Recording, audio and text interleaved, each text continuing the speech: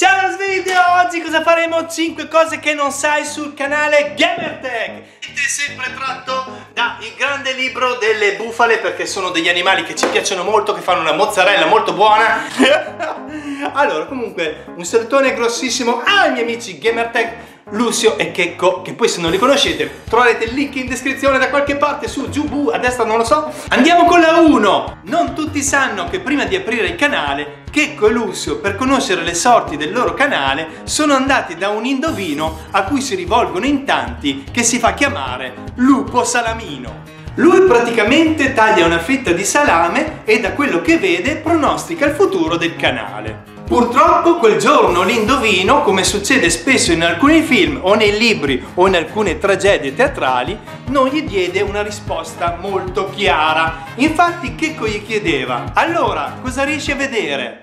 E lui rispondeva, Cari postulanti, il vostro responso non è chiaro e cristallino.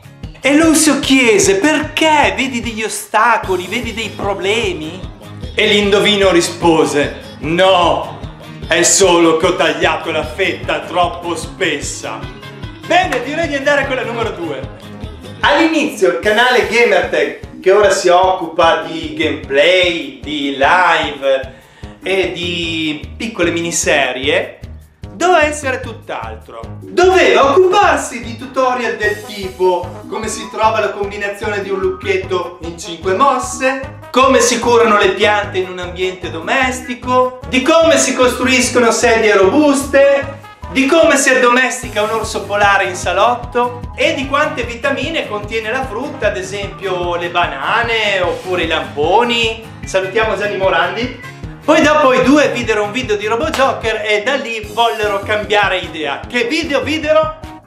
Eh, non c'è scritto, non c'è scritto, non c'è scritto, quindi non, non c'è mica scritto tutto, eh, non c'è mica scritto tutto, mi dispiace. Andiamo con il numero 3. Ma come mai il canale Gamertech si chiama Gamertech? Tu lo sai? No, non lo sa neanche lui. Ma qua c'è scritto, eh, carta canta, eh. Carta, carta, carta. Avete presente la favola della principessa e il ranocchio? Bene, non c'entra niente con quello che vi devo dire. Allora, praticamente, Lucio un giorno inseguiva una rana, ma non sapeva di essere in un sogno. Correva, correva e correva, ma non riusciva mai a raggiungerla. Ad un tratto si svegliò ma lui sentiva ancora gracidare. Andò in bagno, andò in cucina, andò in garage, andò in cantina, ma non riuscì a trovare la rana.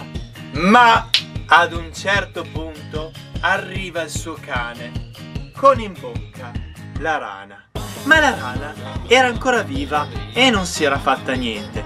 Quindi Lucio, gentilmente con la sua mano prende la rana, corre verso il giardino e la lancia gridando Vola libera, vola rana!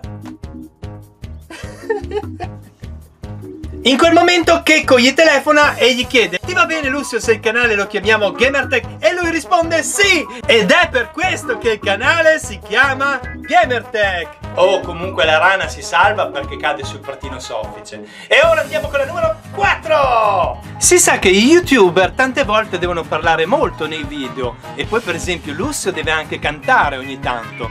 E quindi occorre che la loro voce venga curata e leggo qua che è per questo motivo se i due fanno un infuso di una diversa varietà di fiori. Inoltre Checco pratica l'arte orientale dell'anime gym, che è una sorta di ginnastica e di posizioni da ricreare in base all'anime che si guarda in quel momento.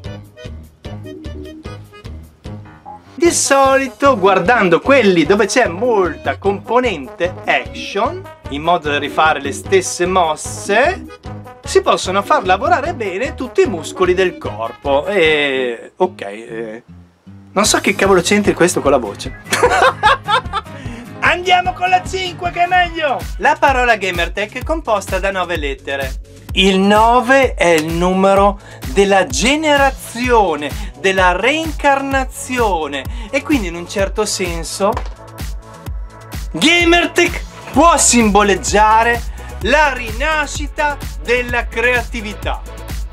Bene ragazzi, il video si conclude qui e io ringrazio e faccio un salutone grossissimo ai miei amici Checco Lusso del canale Gamertech. Spero che voi guarderete il canale al di là delle cavolate che vi ho detto oggi. E poi basta, direi di chiudere qua. Ciao